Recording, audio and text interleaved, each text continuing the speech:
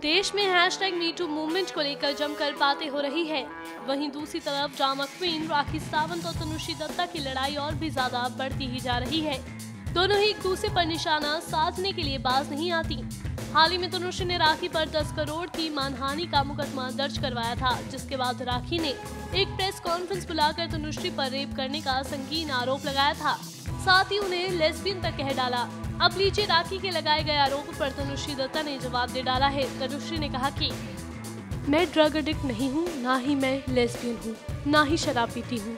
इससे समाज में बदलाव आ रहा है। ऐसे गंभीर अभियान का मज़ाक नहीं उड़ाना चाहिए। मैं इस बात से काफ़ी दुखी हूँ।